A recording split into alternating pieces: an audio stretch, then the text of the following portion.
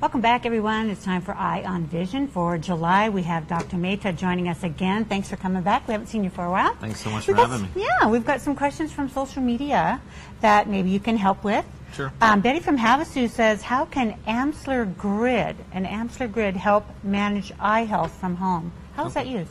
Yeah, so you know, basically an Amsler grid, what it is, it's just basically a square grid that has a bunch of vertical and horizontal lines, and it has a central dot right in the middle, and it helps us identify, uh, basically determine whether or not there's any changes in the vision that we need to bring the patient in for, uh, whether it's macular degeneration, uh, whether it's a macular hole or macular pucker, vitreomacular traction, a lot of different sym- uh, syndromes that can be monitored by an Amsler grid by the patient at home. So they don't actually have to come in for the evaluation. If they notice a sudden change in the grid from one day to the next, Oh. they can come in and see us. Little eye exercise. Yeah, huh? exactly. So what they're cool. looking for basically is a sudden onset of new distortion or waviness in the lines of the grid. And you want to check one eye at a time. If you're looking with both eyes, you might not pick it up. But if Ah. you cover one eye, hold the grid about 14 inches away from you and look for a new onset of distortion or waviness from one day to the next.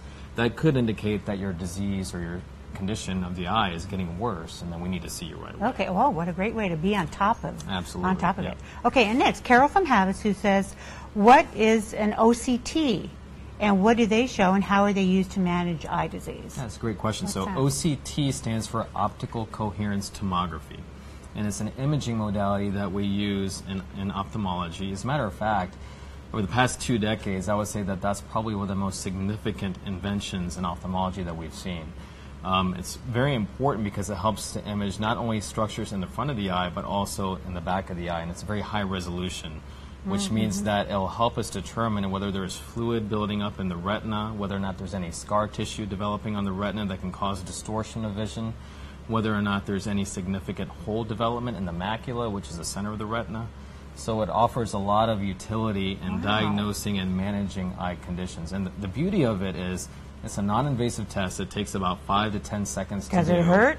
And not at all. Oh, okay. Yeah, it's just a picture. Okay. It's just a picture Oh, of the eye. Okay. And it, it gives us a cross-sectional image map of the retina. So that way I'll be able to determine whether or not you need treatment for any particular eye condition uh, that it can diagnose. So, I mean, it's a fan- fantastic, minimally invasive, quick, Great. and painless procedure that gives us a lot of information. Okay, okay. Bruce from Havasu says, "Can you explain an anti-VEGF treatment?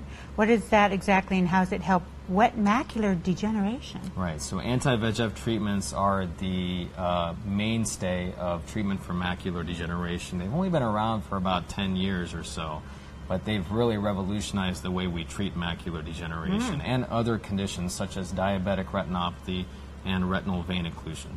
And what it is, it's an injection into the eye, and it hmm. sounds painful. An but injection. We, we numb the eye ah. first so you don't feel anything, Okay. and then we subsequently do the injection. The medicine goes into the vitreous cavity, which is in the middle of the eye, and then slowly diffuses into the retina and the subretinal space, and that's how it achieves its um, its action. Okay, so would it be a series of injections? Typically, in the or- beginning, when we first diagnose you with macular degeneration, it is a series of monthly Mm. injections. We do one one a month for about three months. Mm-hmm. Then Oh. we stop and just we, we take the pictures again with the OCT, like I mentioned before, and we see whether or not the fluid is gone. And if the fluid and the blood are gone, then we can stop and just reevaluate you at the next visit. Okay. The bottom line, though, is that with these anti-VEGF injections, often they do require monthly in, uh, treatment. Wow. Sometimes indefinitely, you know, depending on how severe the disease is. But we are working very hard at f- finding out ways to maybe lengthen the interval between injections. And Oh, okay. there's a lot of research in this field right now, and we, act- we actually happen to be doing a lot of that. The Retinal Consultants of Arizona, we're trying Mm-hmm. to see whether or not there's anything that we can give that might be able to lengthen the interval between the injections, so that instead of getting injections once a Yeah. month, you're getting injections once every three or four months. That would be the goal, Yeah, ultimately. but if it helps, that's good. Absolutely, yeah. And Larry from Kingman says, "Can macular degeneration lead to complete blindness?" Yes, that's a very good question, and a lot of people get worried that when they lose Mm-hmm. when they when they get diagnosed with macular degeneration that they're going to go completely blind, but that never happens. Actually, Oh. what ends up happening is that with macular degeneration, the center of the vision can get very grayed out to the point where you can't have you have difficulty reading or driving oh, or okay. doing activities of daily living. But you'll always have that peripheral vision. That should not go unless you have another condition that can affect the peripheral vision, like glaucoma. Okay. But macular degeneration itself will never affect the peripheral vision, so it will never be a lights out scenario oh, where you're Oh, just good. not going to be able to see at all. You'll always have some useful vision in macular degeneration. Okay. Is there any type of corrective lenses that can be used when you have? Because if there's a if there's a spot out or a spot Yeah, exactly. or- So basically, you know, you can use a magnifier, and a oh, magnifier sometimes in that central grayed out area can help magnify the image onto the retina so that it can effectively reduce the size of that central area where you're not seeing. Gotcha. So the problem with magnifiers, though, of course, that it decreases your peripheral field of view. So you know, there's there's some Not give and take, solution, give and take there, but you know, at least it's an option. Okay. And finally, Sarah from Kingman asked, who's at risk for retinal detachments and what are the warning signs? Yeah.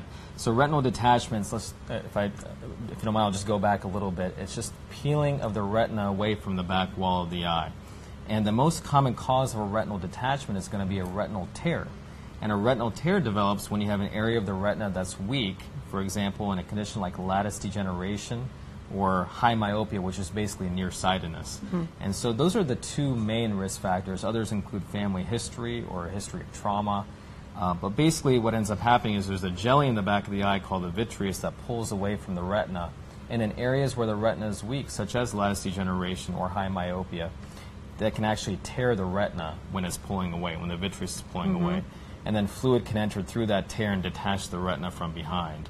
So those are the biggest risk factors. Sometimes you don't even know if you have lattice degeneration or you know high myopia. So you have to go in for an get checked. evaluation. And the most important thing about preventing retinal detachments is making sure that you come in for the appropriate evaluation and treatment.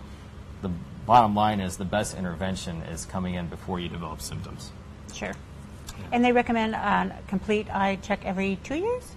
Well, every year, actually, every year, especially okay. after you turn 65, because that's for macular degeneration, more Okay. or less. But you know, once a year at least after 65. Every two years prior to then is probably a good uh, recommendation. Yeah. Okay. If you have any questions on retina disease, you, they can answer them for you. You can go online at, or here's an email, communications at retinalconsultantsaz.com or give them a call at 928 855 5026.